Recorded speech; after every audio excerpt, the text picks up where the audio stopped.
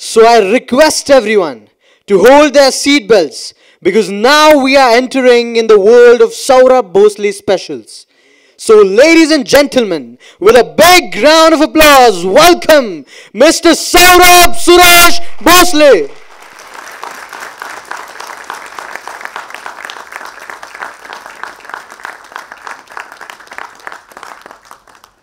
कसे काय आहेत सगळे सगळे कसे आहेत ओके सो uh, ह्या गोष्टीवरून समजतं की आपण सगळे एकाच पट्टीतले कार्यकर्ते आहेत uh, आपले किती जरी लागले असले तरी आपण थोडंसं हसतो आणि म्हणतो निवांत आहे.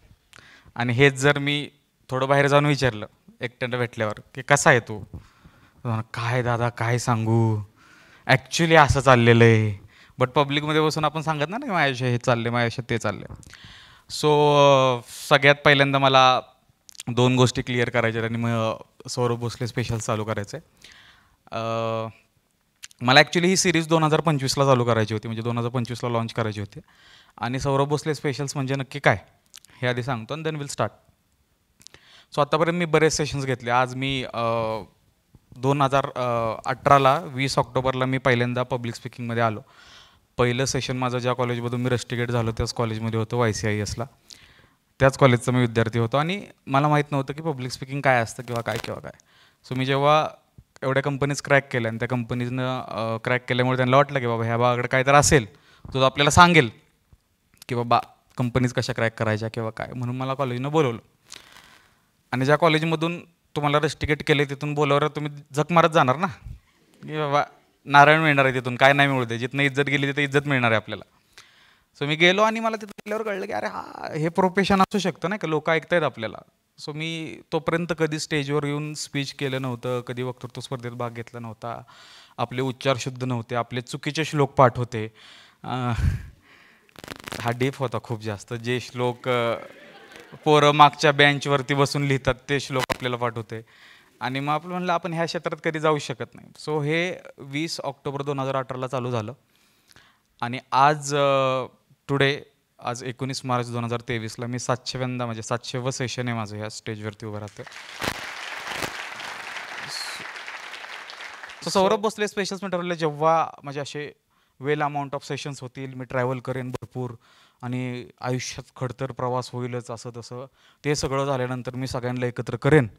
आणि त्यांना सांगेन की भाऊ मी आयुष्यात हे हे सहन केलं आणि मी हे हे शिकलो आहे थोडक्यात काय जे आपण कझिन्स असतात किंवा आपले मित्र असतात जेव्हा आपण रात्रीचं एकत्र बसतो आणि साडे दहापासून रात्री दोनपर्यंत सभा आणतो की मोदींना असं नाही असं करायला पाहिजे होतं. बरोबर आहे ॲक्च्युली विराट कोहलीनं असं खेळायला पाहिजे होतं. ह्या सगळ्या सभा ज्या आपण रात्रीच्या लावतो त्या सभा लावण्यासाठी आज मी तुम्हाला इथं बोलवले सगळ्यांना. ठीक आहे? आणि त्या कजिन्सच्या ज्या गप्पा असतात ना रात्री साडे दहा अकरा पावणे अकराला ज्या चालू होतात दोन वाजले तरी. मच्छर चावतंय बरमुड्यावर बसलं हे. पण ह्याला माहिती आहे एखाद्यावर टायमिंग लावलं आहे तरी त्याच्यावर टायमिंग लावून धरायचं आहे आणि ते जे बॉन्ड होतं ना ते तुम्ही वर्डमध्ये कधीच सांगू शकत नाही. आणि जगातले सगळ्यात भारी पॉडकास्ट आहेत ना ते अनरेकॉर्डेड आहेत. आणि ते अनरेकॉर्डेड पॉडकास्ट रात्री अकराला चालू होतात जेव्हा आपण सगळे बसतो तेव्हा माईक नाही आहे काय नाही आहे कॅमेरा नाही आहे चुकून बिकून जर जेव्हा आपण कझिन्स मित्र नाईट आऊटला किंवा एकत्र बसलोय जेव्हा तेव्हा जर कॅमेरा आणि माईक लागला नाही तिथं मिलियन मिलियनमध्ये व्ह्यूज येतील प्रत्येकाच्या घरात. एवढे डीप लेवल थिंकर आहेत सो मी डिसाईड केलं नाही सांगायचं. आणि मी म्हणलेलं बाबा दोन हजार पंचवीसला चालू करायचं. आणि ह्या क्षेत्रामध्ये जर मी कोणाकडे बघित असेल ना तर झाकीर खान माहीत असेल तुमच्या सगळ्यांना. आणि there are so many people जे खूप चांगले पब्लिक स्पीकर आहेत. सायमन सायनिक असेल. मी म्हणलं नाही जेव्हा मला वाटेल ना की मला सांगण्यासारखं खूप आहे तेव्हा हे करायचं. आणि मागचे चाळीस पंचेचाळीस दिवस माझ्या आयुष्यात अशा काही घटना घडायला चालू केल्या की आईला काय होतंय काय कळानच. एवढं पुढे येऊन पण. मी म्हणलं बास. आत्ता जेवढं होतं तेवढं तरी सांगितलं पाहिजे. आणि मी डिसाईड केलं आता आपण फक्त चार वर्षामध्ये सातशे सेशन्सपर्यंत पोहोचतोय. एवढ्या कॉलेजेसपर्यंत पोहोचतोय पंचवीस जिल्ह्यांमध्ये पोहोचतोय. आणि आपलं वय सत्तावीस झालेलं आहे. तर मला वाटतं वय डिफाईनच करत नाही तुमची मॅच्युरिटी तुमचं एक्सपिरियन्स किंवा काय. तुम्हाला माहीतच नाही आहे आयुष्य कुणाचं किती घेतं आहे किंवा काय करतं आहे आणि तुम्हाला कधीच समजणार नाही. आणि त्यामुळं मी आज सगळं तुमच्या सगळ्यांना बोलवलं आणि आज जे काय सांगणार आहे मी आज आपण चार ते पाच टॉपिक्सवरती बोलणार आहे. आणि हे यूट्यूबला पण येईल होपफुली येणारच आहे म्हणजे. एवढा खर्च उगाच नाही ना केला. सो तिथंही घरी जाऊन तुम्ही बघाल. आणि तुम्ही सगळे माझ्यासाठी स्पेशल आहे. कारण की माझ्या पहिल्या स्पेशल्सला तुम्ही इथं आलेला आहे. आणि खूप छान फिलिंग आहे. आणि मला एक गोष्ट सगळ्यांना सांगायची आहे की इथून पुढं जे आपण चालू करणार आहे सौरभ भोसले स्पेशल्स हा निवांत ही तिची पहिली इन्स्टॉलमेंट आहे.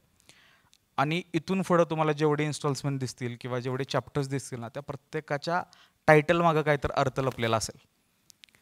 आणि त्याच्यावरतीच ही पूर्ण थीम चालेल. आणि आज जे बोलणार आहे तो सौरभ भोसले नाही बोलणार आहे. तो तुमच्या प्रत्येकाच्यातला एक माणूस बोलणार आहे जो रोज कधीतरी संध्याकाळी उशीवरती डोकं ठेवल्यावर स्वतःशी बोलतो डोळ्यातनं पाणी आलं तरी कोणाला बोलत नाही. सो आज मी तुमच्या वतीने इथं बोलायला आलेलो आहे. मी स्वतःसाठी बोलायला नाही आलेलो आहे. ठीक आहे? आणि बिईंग अ पब्लिक स्पीकर ह्या फील्डमध्ये जर सगळ्यात चांगली गोष्ट जर काय करू शकत असेल ना मी तर मला वाटतं की ज्या लोकांचा आवाज जात नाही आहे बाकीच्यांपर्यंत ज्यांना मदतीची गरज आहे किंवा जी लोक खरंच बऱ्याच गोष्टीतून जात आहेत त्या लोकांचा आवाज व्हायचा आहे मला. त्यासाठी ही सिरीज आहे. सो पुन्हा एकदा थँक्यू सो मच आणि जरा थोडंसं तुम्हाला मागं नेतो सगळ्यांना. म्हणजे तुम्ही म्हणाले जायला नव्याण्णव रुपये भरले. आयुष्यात पुढं जायला बोलावलं हे न काय तर ऐका येईल. आणि सुरुवातीलाच म्हणतोय जरा मागं नेतो तुम्हाला. मागं न्यायला दोन तीन मित्र इनफ असतात आयुष्यात जेणेकरून तो अकरावी बारावीतला कार्यकर्ता नसतो का? तुझ्याकडंच बघत होती. आणि हा स्कॅम एवढा वाईट स्कॅम आहे तुझ्याकडेच बघत होती. मान्य आहे बघत होती. मित्र खोटा बोलणार नाही. ठीक आहे? की बघत नसताना बघत होती म्हणणार नाही. अरे बट कशी बघत होती ती सांग ना. अरे तुझ्याकडेच बघत होती पण ती कशी बघत होती? किळस आल्यासारखी बघत होती की काय अवतार आहे काय भूत आहे हे? कधी सुधारणार हे हो? तिच्या नजरेत ते होतं. ह्यानं ब्रीफिंग दिलं का? संदर्भासहित स्पष्टीकरण दिलं का? ॲब्सोल्युटली नॉट ह्यानं सांगितलं तुझ्याकडेच बघते हा खुश.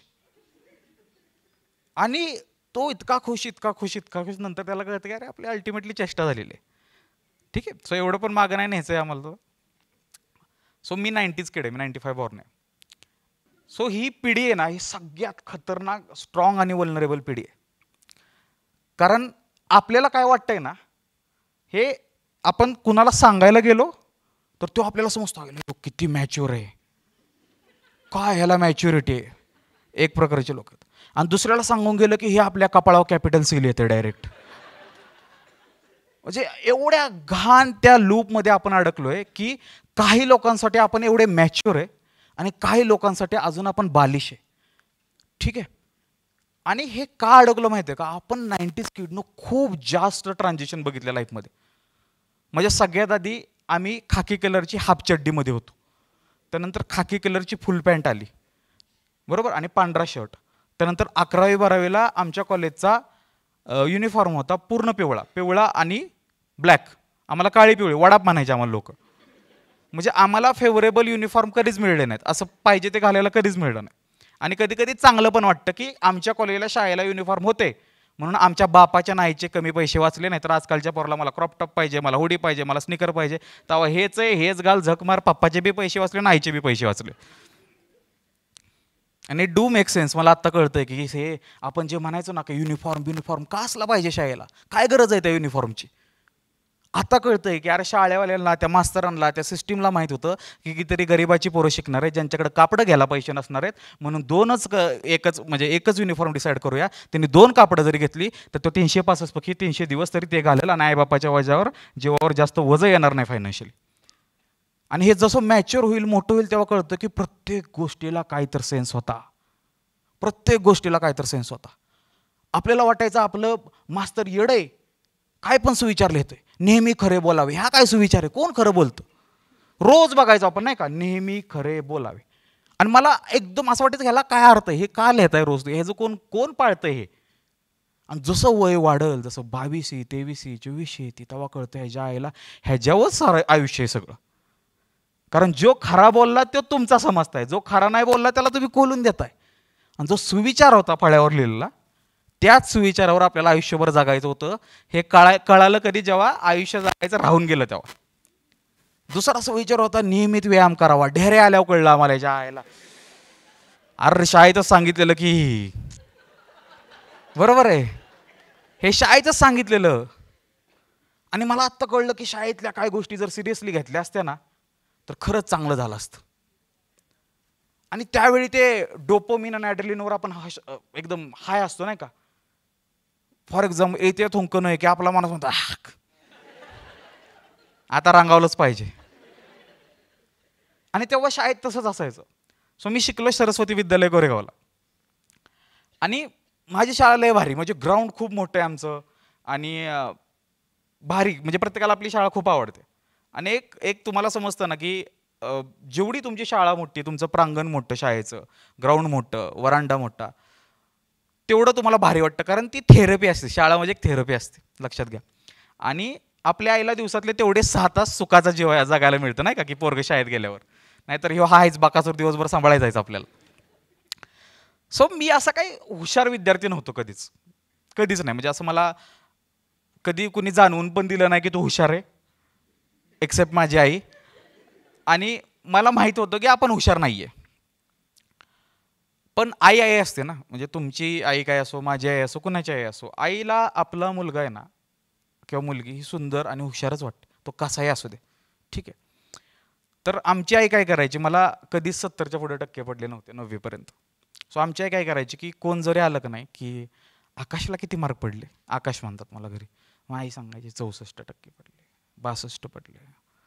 मग ती सांगायची नाही आमच्या स्वरूपला चौऱ्याऐंशी पडले. मला आतून वाटायचं ना की बाहेर म्हणा तुला विचारलंय का?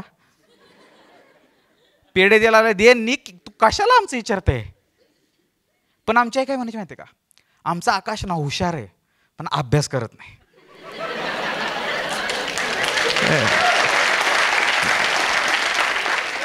आणि हा डायलॉग आहे ना प्रत्येक आईनं मारलाय आपल्या पोरासाठी. आपल्या आई एवढं डिफेंड आपल्याला कुणीच केलं नाही आयुष्यात. कुणीच नाही. म्हणजे कोणी जरी आलं ना म्हणजे मला असं वाटतं की कोर्टात तुमच्यावर कधी केस पडली तर तुम्ही वकील हायर नका करू. आईला उभी करा. आई कुणाला बी हरवू शकते तुमच्यासाठी. हे लक्षात प्रत्येक माणूस जे काय काय बोलेल जे जे काय काय बोलेल त्याला आई डिफेंड करते. पप्पा येणार आईलाच म्हणणार हा तुझ्यामुळेच पोरग बिघाडलं. आई म्हणणार हो असू द्या जाऊ द्या. आपल्याला किती बी शिव्या पडू दे. मला तर लय मारलाय माझ्या मम्मीनं लय. नडग्यास अडकल्यात माझ्या. पण जेव्हा जेव्हा मी काय केलं असेल किंवा काय तेव्हा तिनं मला डिफेंड केलं आणि आपल्या प्रत्येकाच्या आईनं आपल्याला डिफेंड केलेलं असतं. आणि तीच ब्युटी असते ना की जेव्हा आपण लहान असतो ना तेव्हा आपल्यासोबत एवढ्या चांगल्या गोष्टी ज्या घडतायत ना त्या गोष्टींची आपल्याला किंमत नसते कारण आपण कळतं नसतो. आणि जेव्हा आपण कळते होतो ना जेव्हा आपल्याला वाटतं काय ह्या गोष्टींची खूप व्हॅल्यू होती ह्या गोष्टी आपण बोलायला पाहिजे त्या आईवडिलांना तेव्हा आता आय लव्ह यू थँक्यू म्हणायला हृदय जड जातं. कारण थँक्यू आय लव्ह यू म्हणायला गेलं की आतून रडाई येते आणि बाप्पा पुढं ना आई पुढं रडायचं कसं? पंचवीशीत समजते आणि रडलो तर आई रडल बाप रडल मग परत काय होईल? मग रात्री जेवायला एकाच ताटाव बसायचं आहे मग तो ऑकवर्डनेस आणि कितीतरी मिडल क्लास फॅमिलीने तो ऑकवर्डनेस टाळण्यासाठी एकमेकाला कधी आय लव्ह यू म्हणले नाहीत कधी थँक्यू म्हणले नाहीत आणि मनातलं बोललेच नाहीत. बट मी नाही. एक वेळ आली तेव्हा मला बोलावं लागलं. सो शाळेत होतो आणि खो खो खूप आवडायचं. जसं आत्ता फुटबॉल प्लेयर जे असतात ना पोरं कॉन्व्हेंटच्या शाळांना किंवा इंग्लिश मिडियमला फुटबॉल खेळतात पोरं. आमच्याकडं पोरं अजून त्या क्रिकेटच्या बॉलनंच बॉल उडवतात शाळेत फुटबॉल आमच्याकडे वेगळेच गेम्स म्हणजे तुम्ही फरशी का पाणी हा गेम कधी ऐकला की नाही आम्हाला माहीत नाही बट फरशी का पाणी म्हणून एक गेम असतो. फरशीचे तुकडे केलेले असतात. आणि ते अशी फरशी टाकायची आणि त्याच्यावर टाकायची. पडली की मग दुसऱ्यावर राज्य असं काय काय असतं? चिरगोडी म्हणून असतं एक. ओळीनं थांबायचं. यायचं नवरा वाचायचं रोज एक तरी जणाचा हातपाय मोडायचा. पण पोरं काय थांबत नव्हती. आणि सगळ्यात भारी गेम म्हणजे रावा रवी. आता हे तुम्ही पहिल्यांदा ऐकलं असेल. गज असतो गज. कन्स्ट्रक्शनचा तो गज पोरं घेऊन यायची आणि चिक्कल व्हायचा. अख्ख्या ग्राउंडवर शाळेत. आणि न पडता सगळ्यात जास्त रवत रवत लांबकून जाते बघायचं. आणि मी खूप वाईट आहे. म्हणजे कुठल्याही स्पोर्ट्स म्हणजे मी खूप वाईट आहे. खो खो वगैरे सोडून. तर गज होता माझ्या हातात. आणि आपलं मग दोन तीन झालं की पडायचो. आणि सगळ्या चेष्टा व्हायची. त्यामुळे मी खेळायचं बंद. मग जो खेळत नाही ना तो बघायला जातो गोष्टी नाही का? आणि पेटवायला जातो एकतर. मी वय मी नसतं ऐकून घेतलं ज्याला येत नाही त्यानं हेच करायचं असतं. मग आमच्यात एक पोरगं होतं त्यानं करण म्हणत बरोबर त्यानं असा पाय ठेवला. आणि त्यानं गज आपल्याच पायात मारला. आणि आम्हाला कळा ना की हसायचंय का रडायचंय तर पहिली गोष्ट मी काय करावी? आणि तेव्हा पिक्चर बघतो ना आपण साऊथचे. डॉन नंबर वन बदला लुंगा. हा? जिने नाही दूंगा पेदाही होणे नाही दूंगा. माझ्या अंगात काय आलं काय माहीत? मी शर्टची बटणं उघडली बन्याल बिन्याल काय घातलं ना त्याच्या पायाला शर्ट गुंडाळला. आणि म्हणलोय करण्या काय काळजी करू नको तू मरणार नाही तू नीट होणार आहे. अरे तो म्हणते पायाला भोग पडले मरणार थोडी नाही मी. आणि मला वाटलं आणि ते आपण ऐकायचो माहिती ना की जेव्हा पंधरा ऑगस्टला का सव्वीस जानेवारीला ते शौर्य पुरस्कार मिळतो लहान पोरांना. माहिती आहे ना? आणि मला वाटलं भाऊ ते नाही मिळलं तर सेकंड कॉपी तर मिळेल तिची काहीतरी आपल्याला. आपण एखाद्याचा पाय वाचवलाय. आणि तसा त्याला घेऊन आम्ही उचलून गेलो. मला पहिल्यांदा गेल्या गेल्या जाधव सरांनी थोबाडीत मारली. अरे फर्स्ट एड किट हाय की? आता नवीन युनिफॉर्म घ्यायला लावणार का आपल्या बापाला? सगळे हसले आणि मला तेव्हा कळलं की अरे हे कोण कुठले शिक्षक? माझे वडील स्वतः पैसे कमवत आहेत स्वतः शर्ट आणतायत स्वतः शाळेला शिकवायला पाठवतात पण ते जाधव सर म्हणतात आता नवीन शर्ट घ्यायला लावणार का बाप्पाला म्हणजे माझ्या शिक्षकाला ज्या काळातून मी शिकलो त्या शिक्षकाला माझ्या वडिलाची एवढी काळजी की त्यांना शर्ट घेता येईल का? दुसरा. आणि त्याची फायनान्शियल कंडिशन काय असेल?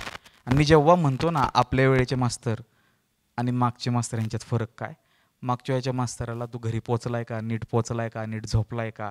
तुझ्या आयुष्यात काय चाललंय? तुझं वर्गात लक्ष कुठं नाही? हे जी काळजी होती आणि आजच्याला ते पडलं नाही कारण आपल्या आईबापानं अलाउडच केलं नाही आतल्या. बावलट म्हणलं की केस टाकायला लागल्यात आम्हाला तर असले बोलल्यात ना तीन तीन दिवस आम्ही रूममधनं बाहेर नाही आलं पाहिजे होतं. आम्ही दुसऱ्या दिवशी वर्गात सर आज काय काम आहे का? अरे काल आबरू काढलेली आमची पूर्ण. आणि तेव्हा कळलं की तो एरा सगळ्यात भारी होता कारण तेव्हा आम्ही ना सनस्क्रीन लावून बाहेर नव्हतो गेलो उन्हात. नाही का काही यू व्ही प्रोटेक्शन करायचं जे होईल ते होईल. चला समाजात. जसं वागवल तसं वागवल. ह्युमिलेशन तुम्ही काय आजकालची पोरं ह्युमिलेशन घेऊच शकत नाहीत घरातल्यांकडून आम्ही जे घेतलंय ते. आत नाही का प्रायव्हसी आजकालची मुलं. Mom and dad I need some privacy mutual consent respect consideration liberty freedom आयो एवढं जड. हा? आम्ही लहान असताना असले शब्द नव्हते. आमचं दार बंद असलं की भैया काय करतोय? डायरेक्ट आत. भैया तिकडे आत. काय का करत असं हाय तसा गावला.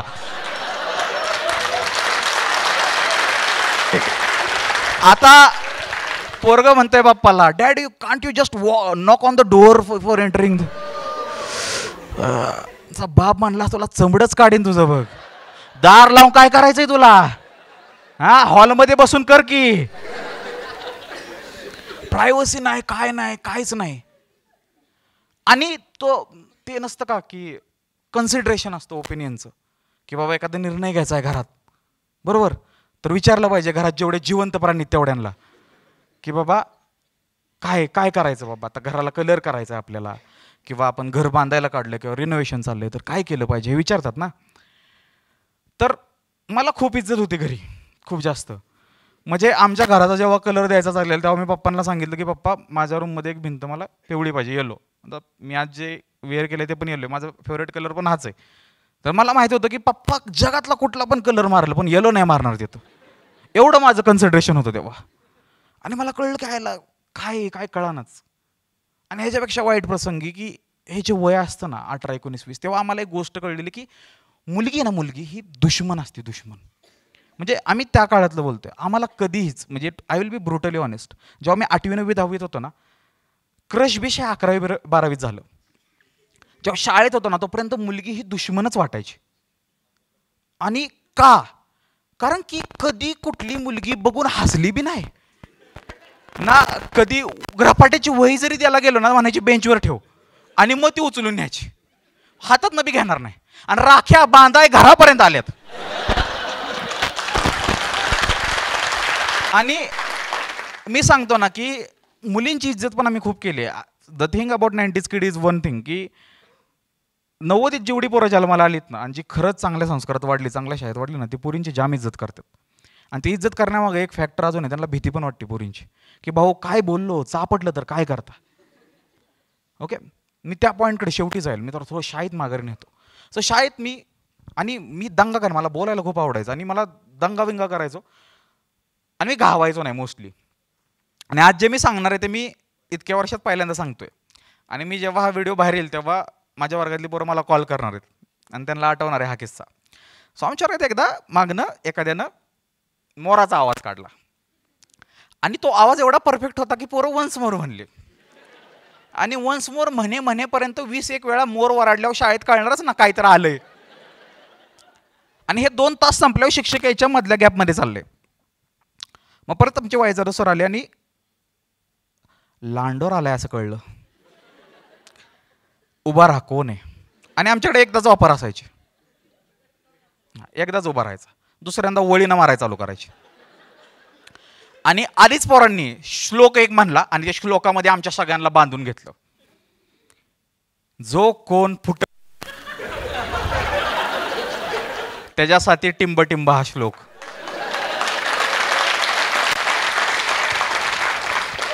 मग मला माहीत होतं की आमचा सुरजा म्हणलेला आहे. आणि तो माझ्या मागच्या बेंचवर बसलेला आहे. आणि मी एकदम मागं होतो बसायला एकदम मागं खूप लांब. वाईट जाधव सरांनी पोरं मारायला चालू केली. इतकी मारत होते बेकार एवढी मारली एवढी मारली. आणि हितपर्यंत मारत आले. आणि माझ्या आले म्हणले सौरभ खाली हो. म्हणजे असं वाकण मारायला लागायचं. मी डायरेक्ट सर मी नाही ते सूर्जाचा सूर्जाचा अक्षा होता अक्षा नाही मायऱ्या होता. माझा काय संबंध नाही तिघं होती ही तिघं बोलल्यात.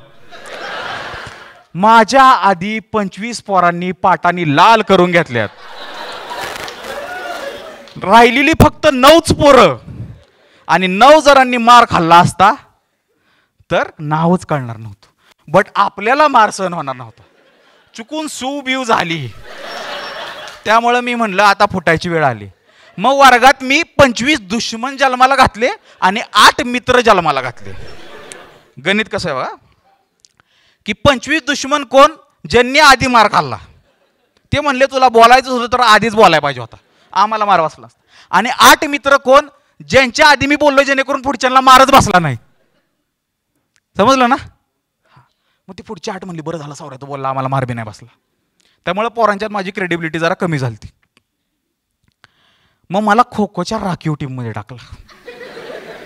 आणि हा अपमान खूप जास्त होता.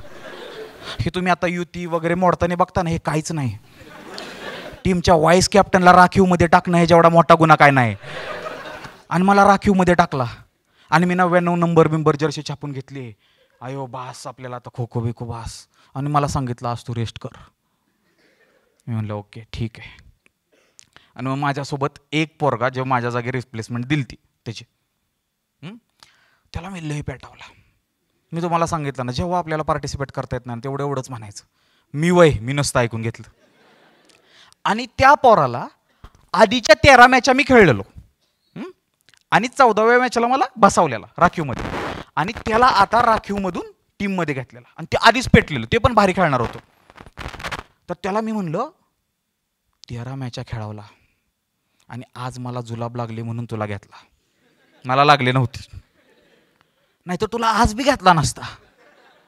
बघ बाबा मी तर उतरलं बी नसतो ग्राउंडवर हे काय ज्याला गरज लागेल तेव्हा बोलावणार आणि वापर करून सोडून देणार. पुढच्या मॅचला खेळणार नाही तुला.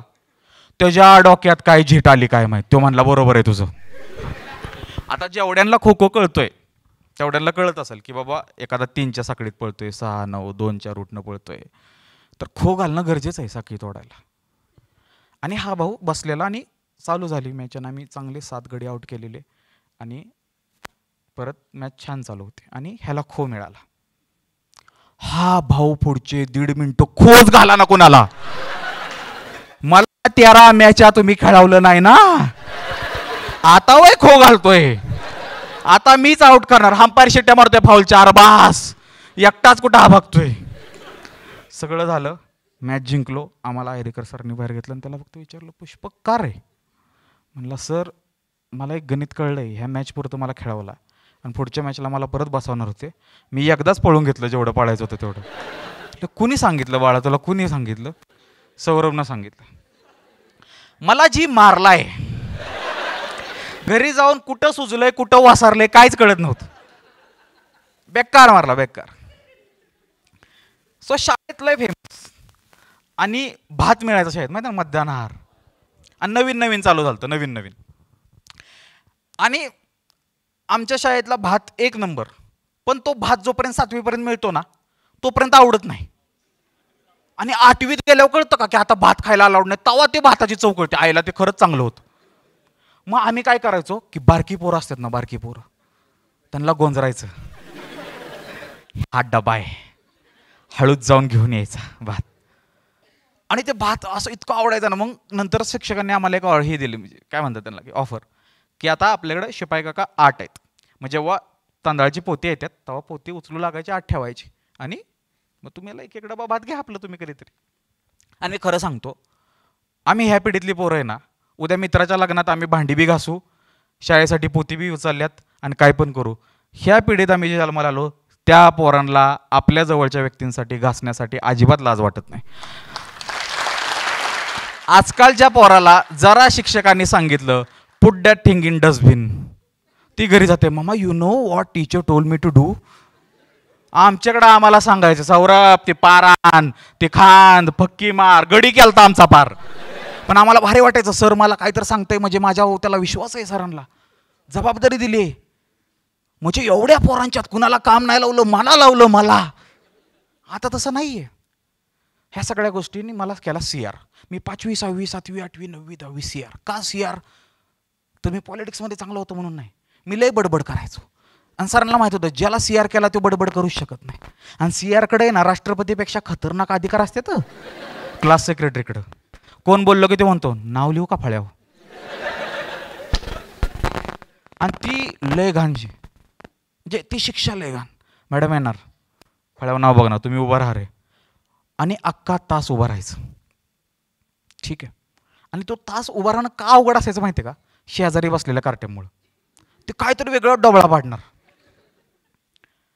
आणि आमचे एक शिक्षक होते त्यांचं मी नाव नाही घेणार. ते आम्हाला एका विषयाला शिकवायला होते. आणि त्यांनी शिकवायला चालू केलं ना विसाव्या मिनिटात पोरं झोपायची.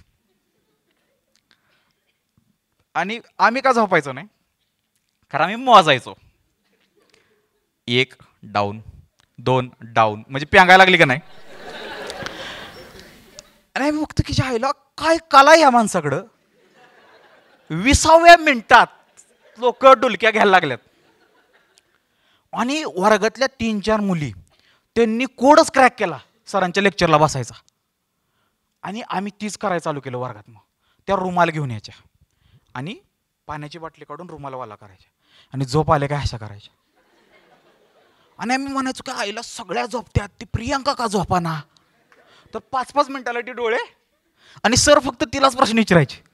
आणि सरला वाटायचं हीच एवढी अटेंटिव्ह आहे. नंतर कळलं ती आपले डोळे पुसायचे. अशा बारीक बारीक गोष्टी आम्ही करत शाळा शाळा दहावीत आलो. दहावीत आल्यावर कळलं की ह्याच्या आईला कुठले शिक्षक खडूस नव्हते काय नव्हते. सगळी चांगली होती. आणि आता झालं शाळा संपली की कॉलेज आणि कोणी तर सांगितलेलंच ना आपल्या गावातल्या पोरांनी की शाळेत काय नसते भाऊ कॉलेजला मजा असते. आणि मग कॉलेजला मजा आहे म्हणून आपण त्यासाठी एक्सायटेड नाही इकडं काय की आता आपल्या वर्गातली काय पोरं दुसऱ्या कॉलेजला जाणार कशाला जाणार कशाला जाणार काय काय काय काय सगळं. आणि मग आमच्या पप्पांनी मला नववी सांगितलेलं की भैया आपल्याला ॲटलिस्ट लका पंच्याहत्तर एक टक्के तरी पडले पाहिजेत. आपल्या घरात एवढी टॉपर पोरं बिरं जाऊन गेल्यात. काका विका तुझं एवढं नाही का सगळी एवढी मोठं पोरं सगळी आपल्यात वर ब्याण्णव टक्के पडल्यात त्र्याण्णव टक्के पडल्यात त्यांना. तुझं बोर्डाव नाही पण आपलं चांगलं पास तरी यावं. म्हणलं ओके ठीक आणि ही अशी वेळ होती की माझ्या आई बाप्पाने माझ्याकडून अपेक्षा सोडून दिली त्या की ह्याला चांगलं मार्क पडतात त्यांचा पूर्ण फोकस अनुजवर होता माझ्या लहान भाऊ की बाबा हेच घराचं नाव बसल्यांचं नाव रोशन करेल केलं तर. की बाबा याकडून आता काय नाही. आणि तेव्हा माझ्या आयुष्यात अनेक वरदान आलं. त्या वरदानाचं नाव होतं बेस्ट ऑफ फाईव्ह आणि मला पहिल्यांदा आयुष्यात पडले शहाऐंशी पॉईंट एकोणचाळीस. आमच्या घरातली हँग आणि पेढे बिडे वाटाय चालू केलं त्यांनी भरपूर सगळीकडं. मी म्हणते अहो थांबा हे मी पाडले नाहीत हे घडलंय माझ्यासोबत. हे घडलंय हे मी नाहीत पाडले मार्क. हे घडलं. तर मग तुम्ही ते मीम बघितलंय का रे?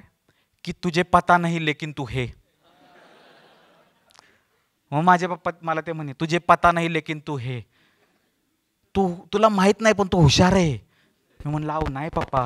पप्पा नाही भैया तू हुशार आहे तुला माहीत नाही. पेढे बेडे वाटले सगळं. पप्पांना म्हणलं पप्पा अहो खरंच नाही हो हे घडलंय. स्किप टू टू इयर्स बारावीत बावन्न टक्के पडले. तर पप्पा म्हणले बरोबर आहे. तू हुशार नाहीये हे घडलेलं तुझ्यावर. ही गोष्ट आमच्या पप्पाला कळायला दोन वर्ष गेली. की हो बावनच्याच लायकीचा होता पण बेस्ट ऑफ फाईव्हमध्ये मॅच बाजूला राहिला. म्हणून ह्याला शहाऐंशी टक्के पडले. मग पप्पाने मला दहावीत विचारलं की भैया काय व्हायचंय तुला? म्हणलं मला शिक्षक व्हायचंय. आणि एक गोष्ट मी सांगतो जी लोक नाईन्टीज खेड आहेत नव्वदच्या एरामध्ये जन्माला आलेत ना आणि हे सगळ्यांच्या बाबतीत कॉमन गोष्ट आहे त्या सगळ्या पोरांचं पहिलं ड्रीम कॉमन आहे. सगळ्यांना शिक्षक व्हायचं होतं. ॲटलिस्ट दहावी नववीपर्यंत तरी प्रत्येक पोराचं स्वप्न एकच होतं की मला काय नाही झालं मला शिक्षक व्हायचं आहे का माहिती आहे का? ती असणारी भीती अदब रिस्पेक्ट शिक्षकांबद्दल ती कुठंच बघायला मिळत नव्हती कुठंच नाही. आणि बघा ना आपल्याला घरातनं काय पण मिळेल पैसे मागा मिळतील ट्रिपला बोलवलं की किती देतील पैसे देतील सगळं देतील. किंवा आपण सांगितलं मला हे पाहिजे ते पाहिजे ते पण करतील. बट एक गोष्ट आपल्याला घरातनं कधीच मिळली नाही इज्जत. आणि इज्जत मिळाली नाही ते नाही इज्जत म्हणजे फार दिंदवडे पूर्ण. आणि दहावी दहावीत आम्हाला कळलं की मुलगा मुलगी एक चांगले मित्र मैत्रीण पण होऊ शकतात किंवा बहीण भाऊ तर होऊ शकतात मानलेले. आणि तेव्हा आम्ही नाही का राखी बांधल्यापासून आम्ही काय घालू गेलेलो की बाबा बोलायचं एकमेकासोबत. आणि तेव्हा फोन बिन नव्हते. लँडलाईन होते. झिरो एकवीस त्रेसष्ट मग पुढे नंबर लावायचा. मग घरातले कॉल उचलणार हां मग मग त्याकडे देणार बोलणार. मग आपला कॉल होईपर्यंत आई तिथंच बघणार. काय बोलतात ही दोघं पोरं? जसं पार इतिहासाचं सगळं सांगितलं तर मम्मी बघणार हा झालं का बोलणं? चला. आणि मग माझ्या एका मैत्रिणीचा मला कॉल आला आणि मी वॉशरूमला गेलेलो. आणि आमच्या आईनं कॉल उचलला. तर आता आत्ताचे जर पॅरेंट्स असते जेनजीचे तर ते काय म्हणले असते की तो वॉशरूमला गेलाय फ्रेश होते थोडंसं. कारण मैत्रिणी आहे ना पलीकडं माझी. आमची आई म्हणली तो संडासला गेलाय. दुसऱ्या दिवशी जिथं जिथं माझी मैत्रीण दिसल ना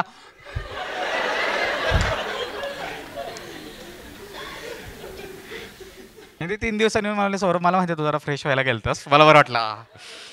म्हणजे अशा मुली आहेत ज्या मुलांना ऑकवर्ड होत आणि त्यांना बघू शकत नाही. त्यांना ते कम्फर्टेबल फील करून देतात. अशा पण पुरी आहेत. ठीक आहे? लय शोधत नाही बसायचं मित्र. आलं तर आलं नाही तर नाही. ठीक आहे?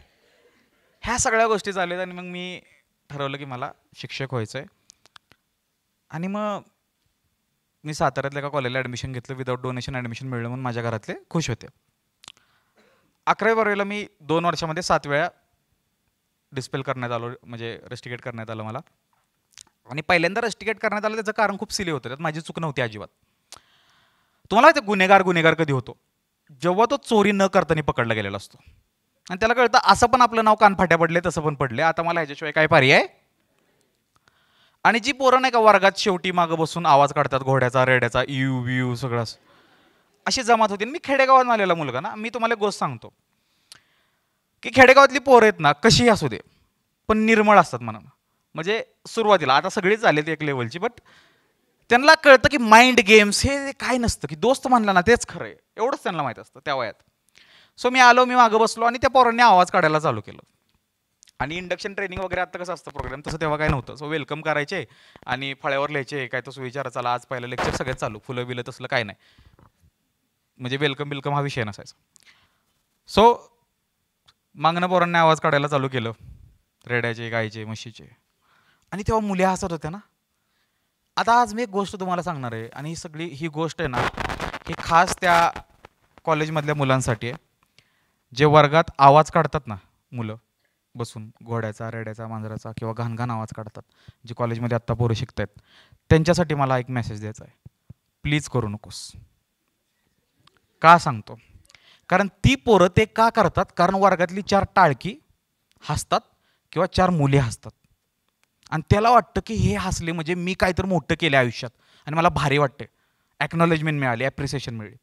But to be very honest तुम्हाला जेव्हा एखादा व्यक्ती तो आवाज काढतो किंवा घाणघाण आवाज काढतो किंवा कसले पण आवाज काढतो तेव्हा टाळ्या आवाज होतात वर्गातल्या मुली किंवा मुलं हसतात हे करतात. ते ॲक्च्युली तुला ॲप्रिसिएशन नसतं रे.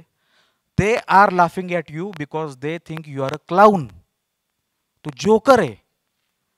आणि चार वर्ष आयुष्याचा तो पोरगा आवाज काढत राहतो सगळ्यांना हसत राहतो. त्याला वाटतं मी एंटरटेनर आहे. आणि नंतर त्याला कळतं चार वर्षाने यायला मला काहीच इज्जत नाही माझ्या वर्गात. माझ्या ओपिनियनला इज्जत नाही. मी फक्त क्लास क्लाऊन होतो. मी जोकर पण नाही एंटरटेनर पण नाही. आणि आपल्याला वाटतं पुरी हसतायत पोरं असतात बरोबर का हसतायत? किती विचित्र आहे म्हणून हसतात आणि हे कधी कळलं? कॉलेज सोडल्यावर. आणि पहिल्या दिवशी हसतात सगळी. आणि सरांनी मला उभं केलं. तर मी म्हणलं हा सर. तर म्हणले का आवाज काढत होता? म्हणलं सर मी नाही आवाज काढला. तर म्हणलं नाही मी ऐकलं तो आवाज काढत होता. तर बरे भोसले नाही आधी मला विचारलं की नाव काय तुझं? मी म्हणलं सौरभ सुरेश भोसले. भोसले का? कुठले? कोरेगाव. अरे वा चल बाहेर. आमच्या गावातल्या पोरांनी जाम धिंगाणा घातलेला त्या कॉलेजवर. कोरेगाव म्हणले की त्याच्यावर लक्ष ठेवून असायचं. सो मला बाहेर हाकलला. आणि म्हणजे माझी एंट्री झाली नुकतीच. म्हणजे माझा के एल राहुलच झाला थोडक्यात की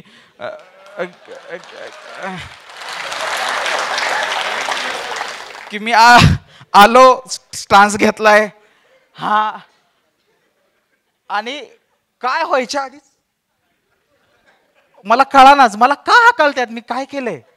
आणि पहिल्या दिवशी फक्त दोन गोष्टी दिल्या त्या आय डी कार्ड आणि library card so library card दिलं. लायब्ररी कार्ड मी मी लायब्ररीत गेलो. लायब्ररीत ते कार्ड दिलं आणि मी म्हणलं हे हे ना काय करतात? हे काय असतं कारण आमच्या शाळेत हे काय विषय नव्हता. लायब्ररी होती पण लायब्ररी कार्ड वगैरे काय विषय नव्हता. तर ते म्हणजे ह्याच्यावर पुस्तकं मिळतात. अभ्यासाची. म्हणलं लायब्ररीनी ओळखलं हे कुठल्या पट्टीतला आहे? मला म्हणला बिना अभ्यासाची पण मिळतात. मी म्हणलं म्हणजे काय काय काय? स्टोरीज असतील आत्मचरित्र असतील किंवा काय किंवा काय किंवा काय. म्हणलं ओके ठीक आहे गुड द्या म्हणलं तुम्हाला आवडेल ते पुस्तक. मग त्यांनी मला विंग्ज ऑफ फायर दिलं अग्निपंख. हे माझ्या आयुष्यातलं पहिलं पुस्तक आहे जे मी वाचलं ते. आणि ते पुस्तक वाचायला मला आहे ना सहा महिने लागले. आणि मी पूर्ण वेळ घेतला पुस्तक वाचायला. आणि मला एवढं म्हणजे मी जेव्हा जेव्हा रीड करायचो ना ए पी जे अब्दुल कलामबद्दल एवढी इज्जत वाढायची माझी की like the kind of man he is he was आणि हे पुस्तक मी सहा महिन्यात वाचलं. पहिलं पुस्तक मी कंप्लीट केलं एक पण हे करता. आणि मी ठरवलं की आता मला सायंटिस्ट व्हायचं आहे. सो मी घरी गेलो आणि पप्पाला सांगितलं पप्पा शिक्षक प्लॅन कॅन्सल करायला लागतो आपल्याला. सो थोडंसं जरा पैसे विषय आपल्याला ठेवायला लागतील. आपल्याला सायंटिस्ट व्हायचं आहे सो पप्पांना कळलं पोरग माझं कित काय? ज्याला सत्तर पडत नव्हते त्याला शहाऐंशी. आज सायंटिस्ट म्हणतोय आता यो काय थटत नाही. किंवा नासाशिवाय थटत नाही आता. आणि सगळं झालं झालं आणि बारावीत बावन्न टक्के पडले आणि पप्पांनी मला घेतले म्हणले ए वेड्या इकडे. म्हणले बाकी काय नाही आपल्या देशाच्या भवितव्यासाठी सायंटिस्ट होण्याचा निर्णय माघारी घे म्हणले.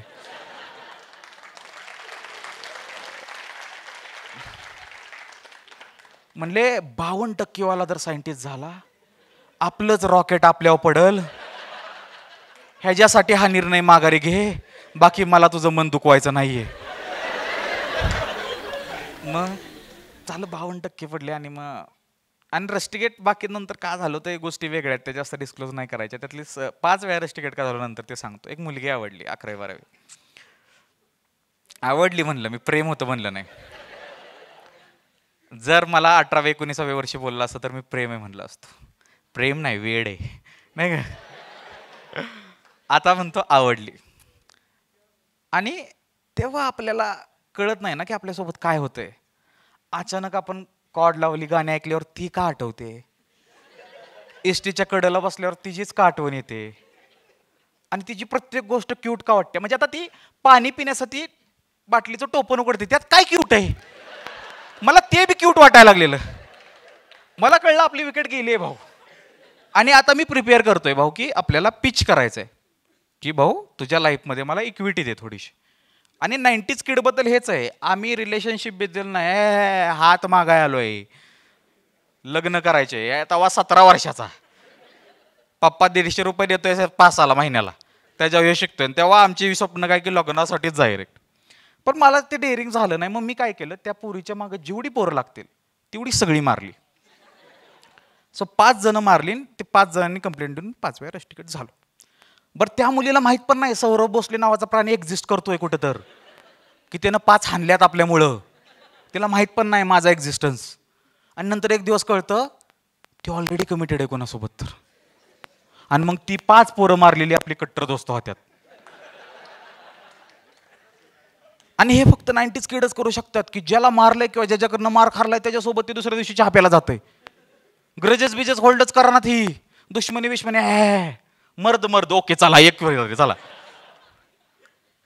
आणि आता मला कळलं बास मग आमच्या घरात भरपूर इंजिनियर आहेत. काका काका इंजिनियर आहेत आमच्यात भरपूर. आणि आता इथून पुढे मी जे बोलणार आहे ना ते डीप जोक आहे तो खूप. आणि तो खूप कमी लोकांना कळेल. सो दोन हजार अकरा बारा तेरा किंवा नऊ दहा हा काळ असा काळ होता ना की आपले हिरवेगार डोंगर बघितले. आणि आपल्या राजकारण्यांनी त्यांच्याकडे बघून असा नोटेवर आठवून म्हणलं की काय सुंदर डोंगर आहे ना ह्याच्यावर एक इंजिनिअरिंगचं कॉलेज टाकूया.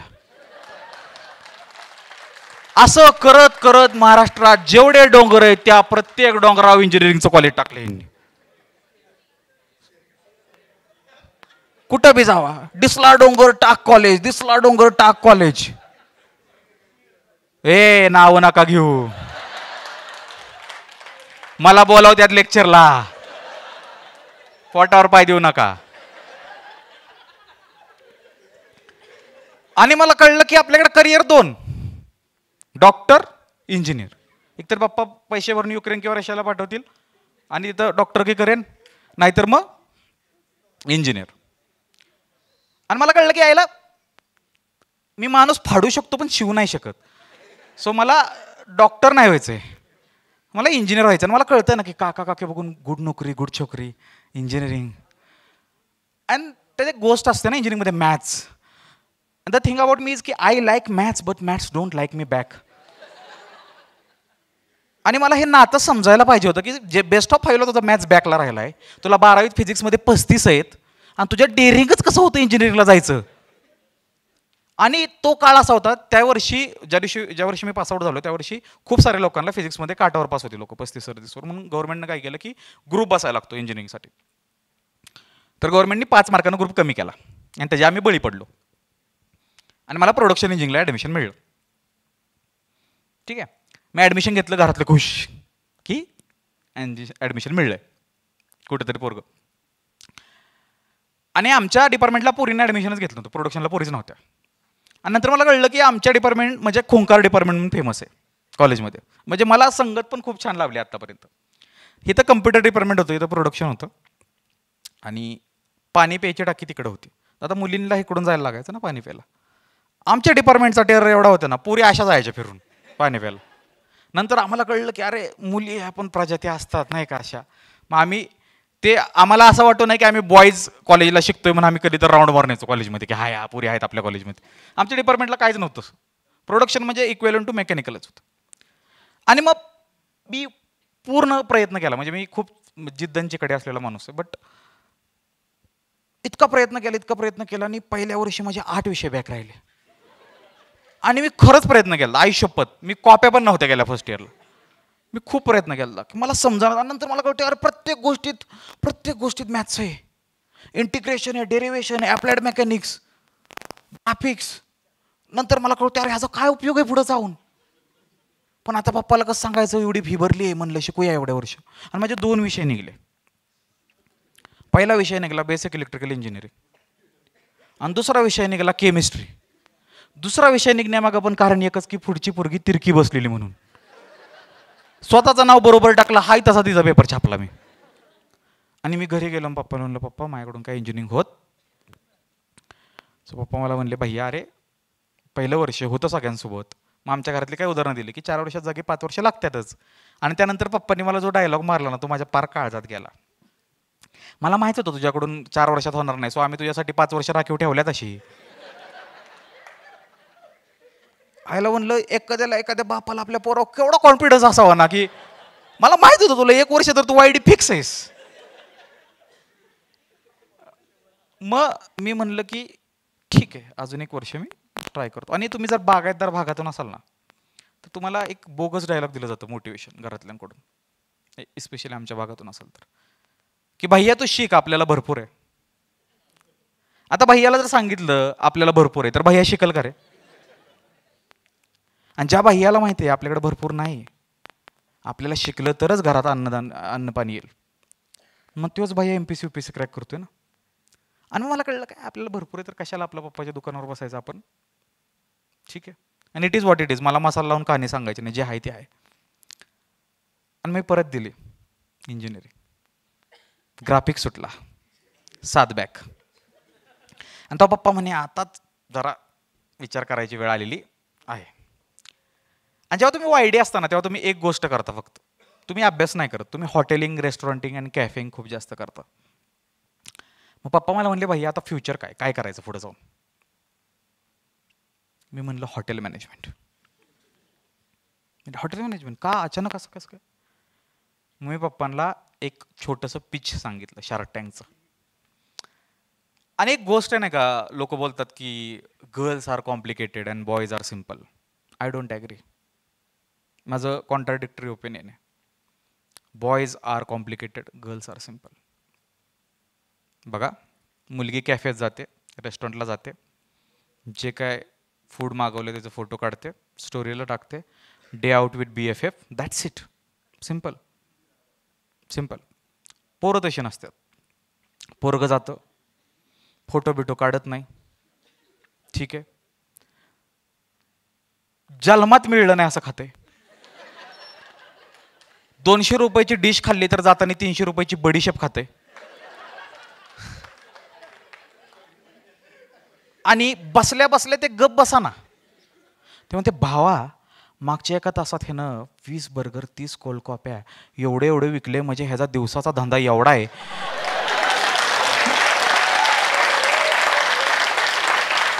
म्हणजे महिन्याला आहे ना हे कमीत कमी पंधरा लाख कमावतोय. आपण जग मारतोय रे इंजिनिअरिंग करून. आणि माझ्या डोक्यात ते फिट बसलो. आई शपथ खरंच की. आणि मी सेम सांगितलं पप्पांना सेम पप्पा म्हणले मेक सेन्स आता आपण ॲडमिशन घेऊ हॉटेल मॅनेजमेंटला मग आम्ही पुण्याला हॉटेल मॅनेजमेंटला ॲडमिशन घ्यायला इथं आलो. इथं बघितलं मला जुलै महिना झालेला तोपर्यंत. आणि सगळीकडं बी एच एम सिटीचे ॲडमिशन क्लोज झालं ते जवळजवळ. मग इथं आल्यावर पप्पांना हॉटेल मॅनेजमेंट पण पसंत पडलं नाही. म्हणले नाही आपल्याला हे नाही करायचं चला. तू परत काय म्हणतात की पप्पांना एक होतं की मला रिकामा वेळ नाही मिळला पाहिजे. आणि त्यांना माहिती होतं मी हॉटेल इंडस्ट्रीत गेलो की माझे अजून मित्र होतील हे होईल ते होईल ते होईल. But there is one thing मला माहीत होतं की मला हॉटेलियर व्हायचं आहे आणि मी मे बी फ्युचर फ्युचरमध्ये होपफुली होणार आहे मला माहिती आहे. होईल. आणि आता घरातल्यांना माहिती आहे की हा काय पण करू शकतो तर करून देऊ. आणि जी गोष्ट आपल्या मनात आहे किंवा आपल्याला करायची असते ना ते एक वय आलं ना की पंचवीस सव्वीस तेव्हा देव आणि घर पण लिबर्टी देतो. आता कर तुला जे करायचं आहे ते. आणि तोपर्यंत मग आपली परीक्षा असते की आता इच्छा आहे का तुझी ती करायची? जेव्हा पाहिजे होतं तेव्हा नाही मिळलं. आता जेव्हा तुझी इच्छा आहे का? एवढं सगळं झाल्यानंतर. आणि जर तुमची इच्छा असेल तर तुम्ही करू शकता. So I still do want to be a hotelier मग त्यानंतर मी ठरवलं की नाही बाबा नाही करायचं. मी घरी गेलो. आणि तेव्हा इंस्टाग्राम आलं नवीन नवीन आधी आयफोन युजर्सलाच होतं माहिती आहे ना इंस्टाग्राम हां बऱ्याच लोकांना माहीत नसेल. मग ते अँड्रॉइड युजर्सला पण आलं. आणि नवीन नवीन काय फॉलो करणार? रील्स बिल्स नव्हते मग कोट पेजेस असायचे. तर तिथं एक कोट आलेला की you are born for some reason find your reason म्हणजे तुमचा जन्म कुठल्या तरी कारणासाठी झाला आहे कारण शोधा. आणि मी माघारी जात असताना त्या एका कोटमुळे एवढा विचार करतो की ह्याच्या आईला माझा जन्म का झाला असेल बरं की शिक्षक नाही सायंटिस्ट नाही इंजिनियर नाही हॉटेल मॅनेजमेंट नाही. मी करणार आहे. काय आणि मी घरी गेलो मी रडलो बेकार. खूप इमोशनल झालो की ह्याच्या आईला मी किती त्रास दिला ना घरातल्यांना. भांडणं मारामाऱ्या केल्या. दोन वर्ष रस्टिकेट झालो पप्पांचे पैसे वाया घालवले. आज ऑगस्ट महिना आहे. ऑगस्ट महिना चालू होतोय. माझं कुठे ॲडमिशन नाही आहे माझे मित्र आयुष्यात पुढे गेले ते आता लास्ट इयरला जातील.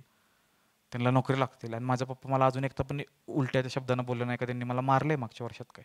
आणि रोज मी त्याच घरात खातोय जेवतोय गेंड्याच्या चमडीचा होऊन. आणि त्यांना काहीच वाटत नाही बरं वाटत असेल तर ते मला का बोलणार? आणि ते रिॲलिटी हिट करते ना तुम्हाला सेल्फ रिअलायझेशन जेव्हा कोण तुमची मापं काढत नसते तुम्हीच तुमची मापं काढत असता. ते सगळ्यात वाईट असतं. आणि त्यानंतर दोन प्रकारची माणसं बाहेर येतात. एक तर महानिर्लज येतो जो परत रुटीन फॉलो करतो. आणि दुसरा येतो ना तो पूर्ण चेंज्ड माणूस बाहेर येतो. तो आतला बीज जागा करतो आणि मग तुम्हाला दुसऱ्या दिवसापासून तो वेगळाच माणूस जागा आणि माझ्यासोबत तेच झालं. मी ठरवलं की नाही बास पप्पा म्हणतील ते करायचं आयुष्यात. पप्पा म्हणाला पप्पा मी काय करू? पप्पा म्हणले आय टी आय कर. आय आय टी नाही आय टी आहे. म्हणलं नको. मला माहीत होतं मी तिथं गेल्यावर परत माझे चार मित्र होणार हे होणार. म्हणले एक काम कर फ्रीज रिपेअरिंगचा डिप्लोमा कर. आमच्या टी व्ही फ्रीज वॉशिंग मशीनचे शोरूम आहेत गावाकडं. तर मी फ्रीज रिपेअरिंगच्या डिप्लोमाला ॲडमिशन घेतलं आणि तिथं गेलो आणि तीन दिवस गेल्यावर मला कळलं आईला सौऱ्या तुला ही पण येणार आहे. आता घरी कसं सांगायचं की मला हे पण जमा ना पप्पा. म्हणून मी रोज जायचो आणि स्टँडलाच थांबायचो. आणि पाच वाजले की घरी जायचो. आणि आज काय शिकवलं? पप्पा विचारायचे ना कारण पप्पांना सगळं माहिती आहे फ्रीजमधलं आणि मग मी चार दिवस पहिले हे सांगतो कुलंटबद्दलच सांगितलं सांगितलंय कुलंट सांगितलंय. अ, कुलंट एवढी एवढीचा प्रकार आहे त्या फ्रीजमधला पहिले चार दिवस त्याबद्दल का सांगत्याल? पप्पांना कळतंय खोटं बोलते आणि माझा एक मित्र होता त्याचं मी नाव घेणार नाही आता त्याचं लग्न झालंय. त्यामुळे त्याची प्रायव्हसी ठेवली पाहिजे आपण. नाहीतर लगेच लोक एवढी खतरनाक आहेत ना आपल्यातले स्टॉकर मी दोन तीन कॉलेजमध्ये माझ्या मित्राचं नाव सांगितलं. ते माझ्या फॉलो लिस्टमध्ये गेले. त्याचं नाव सर्च केलं. त्याला मेसेज केला तुम सौरभ सर तुमचे किस्से सांगतात. लय भारी तुमची दोस्ती होती. मग तो मला म्हणला सौऱ्या मला बायको आली आहे व्हिडिओ व्हिडिओत माझं नाव घेऊ नको. माझी मापं काढू नको सौऱ्या ओके म्हणलं ठीक आहे. आणि तो माझा अंगणवाडीपासूनचा मित्र आहे. अंगणवाडी समजतं तुम्हाला? सो जी जेन जी आहेत त्यांच्यासाठी अंगणवाडी काय असतं सांगतो. अंगणवाडी हा असा प्रकार होता जिथं आईला कळतं ना की ही माझं पोरग अवकाळ आहे मला संभळत नाही तेव्हा आई त्याला उचलून त्या शाळेत फेकायची. सांभाळा तुम्ही. ती अंगणवाडी होती. शिकवाय जास्त काय नाही फक्त सांभाळायचा तेवढा वेळ. तेव्हापासनं मी आणतो एकत्र. आणि त्यानं पुण्यात ॲडमिशन घेतलेलं इंजिनिअरिंगला आणि त्यानं डोनेशन आठ लाख भरलेलं. आणि कॉलेजची फी दीड लाख. मी पप्पांचे बहात्तर हजार रुपये बुडवलेले आणि त्यातले छत्तीस मागवलेले ई बी सीनं सो छत्तीस बुडवलेले. त्यामुळे मला जास्त काय अशी टोमणी बिबणे देत नव्हते घरातले. मला फक्त जेवताना म्हणायचं काय आहे, तुला? काय काय वाटतं का नाही? बघ जरा सिरियसली घे. एवढंच. म्हणजे मला जास्त टोमणे देत नव्हते.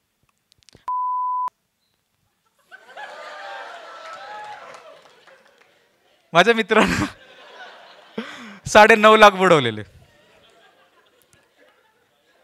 त्यानं श्वास घेतला ना श्वास. तरी त्याला टोमणा द्यायचे. साडे नऊ लाख बुडावल्यात तू. श्वास घेतोस? आणि रोज येऊन म्हणायचं सौऱ्या लय घाण घाण बोलत्यात. काय तर केलं पाहिजे. आणि त्यानंतर ते पण ते कोट्स बिट्स बघायला लागलं. आणि मला एक दिवस म्हणला सौर्या तुला माहिती आहे का काय चाललंय आपल्या आयुष्यात? म्हणलं काय चाललंय? म्हणलं तुला माहिती आहे का जोस वेझोफ हां Elon Musk Mark Zuckerberg Bill Gates. हे सगळे इंजिनिअरिंग ड्रॉप आउट आहेत.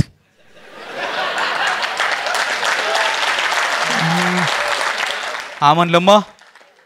म्हणला भावा देव आपली स्टोरी लिहितोय. आपण इंजिनिअरिंग ड्रॉप आउट आहे म्हणजे फिक्स आपण बिलियनर आहे. आणि काही काळासाठी ही मेड मी बिलीव्ह की तुम्हाला सक्सेसफुल होण्यासाठी ड्रॉप आउट असणं गरजेचंच आहे. आणि मी पण खोळ्यासारखा होलो आणि नंतर मी रिसर्च केलं कळलं आला ह्याच्यापैकी कोण असं ड्रॉपआउट नाही? आणि असली तर ती कॅम्ब्रिजचं आहे. आम्ही डोंगरावच्या कॉलेजची मी म्हणलं वेड्या असं नाही. त्यानंतर एक दिवस रात्री आला आणि म्हणला की सवऱ्या आता आपला गोल्डन पिरियड चालू होणार आहे. मला भीती वाटायला लागली नाही का? ह्यो मला चुकून त्या साडेनऊ वाजताच्या मिटिंगला नेतोय काय सकाळच्या की तीन जोडा अजून तीन जोडा अजून तीन जोडा. आणि मग ऑडी घ्या. काय बी कर म्हणलं पण तसल्याला लिहू नको. ते नाही का एक कोट असतो ती पाच लोक एकच कोट आळीपाळीनं घालत्यात. भाड्यानं आणलेली असती ऑडी एकच ऑडी फिरू फिरू येते पाच जणांची एंट्री मग तुम्ही फुलं टाकायची त्यांच्या एंट्रीला टाळ्या वाजवायच्या. शॅम्पू एक साबण एक तीन जण जोड करोडपती हो. अरे आपला किराणा मालवाला झाला नसता होई म्हणलं तसलं नाही ना म्हणलं नाही. तसलं जोडाचं पिरॅमिड सिस्टीम नाही म्हणला. म्हणला बी ए म्हणून असते त्यात मॅथ नसते अयो म्हणलं हा काय विषय? आहे? आता आहे मॅथ्स छत्रपती शिवाजी युनिव्हर्सिटीमध्ये आता बी बी एला मॅथ्स आहे. तेव्हा नव्हतं. मला वाटलं बी बी ए म्हणजे बी ए पेक्षा भारी आहे म्हणून त्यात एक्स्ट्रा बी ए माझी बुद्धी उडी गंजलेली मला माहीत नव्हतं बी बी ए म्हणजे काय असतंय. आणि मग मी ॲडमिशन घ्यायला गेलो K B P M S सरला माझ्या कॉलेजला आणि तिथं मला कळलं की हां म्हणजे बॅचलर ऑफ बिझनेस ॲडमिनिस्ट्रेशन म्हणजे एम बी एच्या आतली डिग्री मग मी तिथं गेलो खैरे मॅडम म्हणून होते आणि त्यांनी मला प्रश्न विचारला की असं रेकॉर्ड बघितलं ना मागचं माझं? दोन वर्ष रिटायर होत आहे बॅट्समन कसं बॅटिंग करेल का नाही?